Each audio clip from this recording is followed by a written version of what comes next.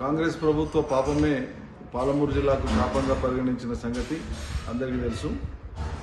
పాదయాత్ర చేసేటువంటి కాంగ్రెస్ నాయకులు విషయాలు తెలుసుకొని మాట్లాడితే బాగుంటుంది. ఆనాడు తెలంగాణ కావాలని జనం ఉద్యమించి బలిదానాలు చేస్తూ ఉంటే ఉత్తర కోస్తాను కలిపి శ్రీకాకుళం విజయనగరం విశాఖపట్నాన్ని తెలంగాణతో కలిపి రాష్ట్రం ఏర్పాటు చేయమని చెప్పి ఉద్యమ తీవ్రతను తగ్గించడానికి కేంద్రం అధిష్టానానికి లేఖలు రాసినటువంటి వాళ్ళు కాంగ్రెస్ నాయకులు ఈ రాష్ట్రంలో. ఆ రోజు తెలంగాణ ప్రాంత నాయకులు.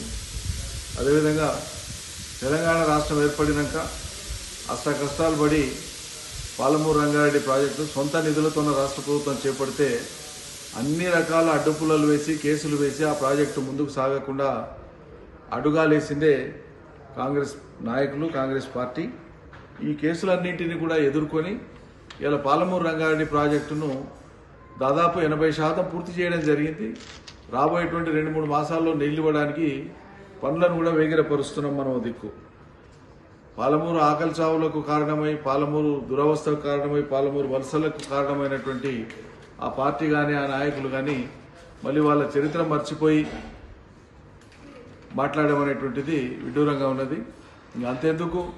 పోతిరెడ్డిపాడును పొక్కబెట్టి పాలమూరుకు మొత్తాన్ని మొత్తం గండి పెట్టేసి పాలమూరు బతుకులన్నింటినీ కూడా పుట్టగొట్టిందే కాంగ్రెస్ పార్టీ.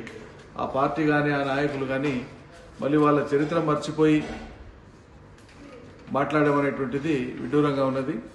అంతెందుకు? పోతిరెడ్డిపాడును పొక్కబెట్టి పాలమూరుకు మొత్తాన్ని మొత్తం గండి పెట్టేసి పాలమూరు బతుకులన్నింటినీ కూడా పుట్టగొట్టిందే కాంగ్రెస్ పార్టీ. కృష్ణానది జలాలను వైఎస్ఆర్ అవతలికి తరలిస్తూ ఉంటారంటే ప్రేక్షక పాత్ర పోషించింది కాంగ్రెస్ పార్టీ. మరి కొంతమంది నాయకులైతే పదవులకు ఆశపడి పోతిరెడ్డిపాడును పెంచడం కానీ అటువైపు నుంచి అటు నీళ్ళు తీసుకుపోవడం కానీ తెలంగాణకేం నష్టం కాదని వాదించిన నాయకులు ఉన్నారు వ్యాసాలు రాసిన నాయకులు. ఇదే కాంగ్రెస్ పార్టీ. చరిత్ర తెలుసుకొని మాట్లాడితే బాగుంటుంది. కలవకుర్తి భీమా నెటెంపాడు కోయిల్ సాగర్ లాంటి ప్రాజెక్టులను కాంగ్రెస్ ప్రభుత్వం మొదలు పెడితే అవి పూర్తి కాకపోతే వాటిని తెలంగాణ వచ్చినాక పూర్తి చేసి వాటి ఫలితాలు ఇచ్చింది ప్రజలకు టీఆర్ఎస్ ప్రభుత్వం. అదేవిధంగా ఇలా పాలమూరు రంగారెడ్డి గురించి ప్రశ్నిస్తున్నారు. లేకుంటే మేము వచ్చేదో పూర్తి చేస్తామని చెప్తున్నారు. ప్రాజెక్ట్ ఎనభై శాతం పూర్తి అయిపోయింది. ఆటంకాలు కల్పించింది మీరు మీ నాయకులు కోర్టులలో కేసులు వేసి. పైపెచ్చు కృష్ణానదిలో నీటి వాటా తేల్చాల్సింది కేంద్ర ప్రభుత్వం.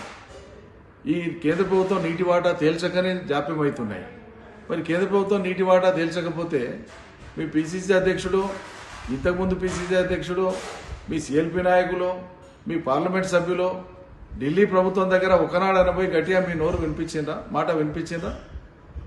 పాలమూరు తేల్చకనే జాప్యం అవుతున్నాయి మరి కేంద్ర ప్రభుత్వం నీటి వాటా తేల్చకపోతే మీ పిసిసి అధ్యక్షుడు ఇంతకుముందు పిసిసి అధ్యక్షుడు మీ సిఎల్పి నాయకులు మీ పార్లమెంట్ సభ్యులు ఢిల్లీ ప్రభుత్వం దగ్గర ఒకనాడు పోయి గట్టిగా మీ నోరు వినిపించిందా? మాట వినిపించిందా?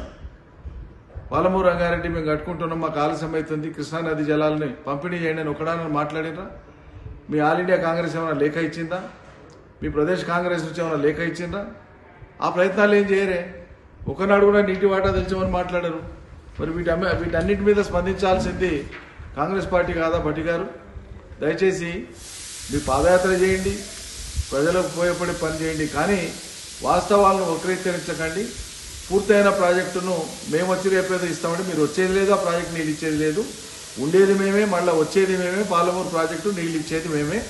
కళ్ళారా మీరే చూస్తారు మళ్ళీ. చూడండి భవిష్యత్తులో.